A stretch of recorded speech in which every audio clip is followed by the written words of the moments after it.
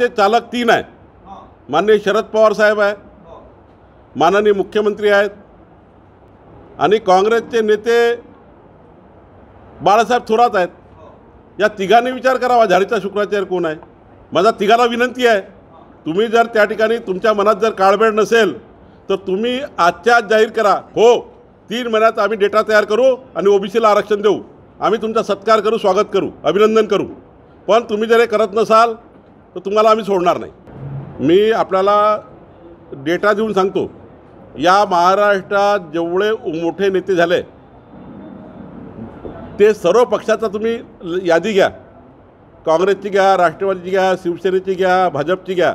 या महाराष्ट्रात ग्रामपंचायतपासून तर खासदारापर्यंत केंद्रीय मंत्रिमंडळापासून तर महाराष्ट्राचं देवेंद्र फडणवीसाचं सरकारपर्यंत सर्वात जास्त प्रतिनिधित्व ओबीसीला मिळालं. आत्ताही केंद्राच्या मंत्रिमंडळात ओबीसीचं नेतृत्व आहे देशाचे पंतप्रधान स्वतः ओबीसी आहे आणि महाराष्ट्रात देवेंद्र फडणवीसाच्या सरकारची यादी काढा. जवळपास साठ टक्के मंत्री ओबीसीचे होते. आणि त्यामुळं एखादी गोष्ट झाली एखादी घटना घडली म्हणून भाजपने ओबीसीवर अन्याय केला ओबीसी नेते नाराज आहे हे चुकीचं आहे. कोणी ओबीसी लीडर नाराज नाही आहे. मी आज पक्षाचा जनरल सेक्रेटरी आहे. मी तीन वेळा आमदार राहिलो आहे. तीन तीन खात्याचा मंत्री आहे होतो. त्याच्यामुळं असं म्हणूच शकत नाही आपण.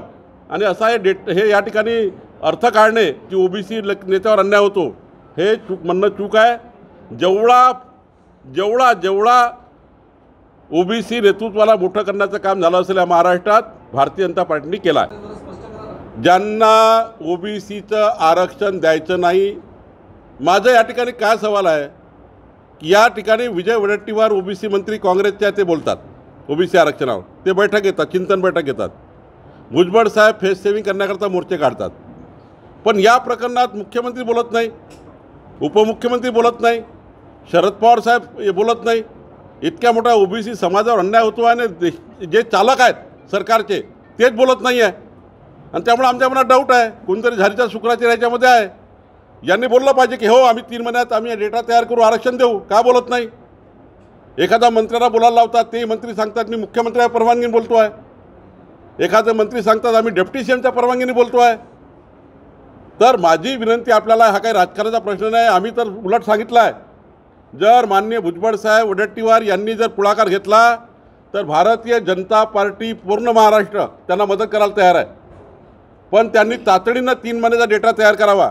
आमच्या महानगरपालिका असतील नगरपालिका असतील नगरपंचायत असतील ग्रामपंचायत असतील आम्ही सर्वांना सांगू की डेटा तयार करायची कारवाई सुरू झाली आहे.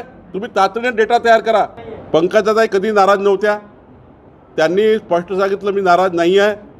आणि कुठल्याही परिस्थितीमध्ये पंकजाताई ज्या पद्धतीने पूर्वी आमच्या नेत्या होत्या आधी नेत्या आहेत आणि त्यामुळे त्या नाराज नाही आहेत. मी तुम्हाला स्पष्ट सांगतो आहे मी व्यक्तिगतही बोललो आहे आणि त्यांनी सार्वजनिकही सांगितलं आहे.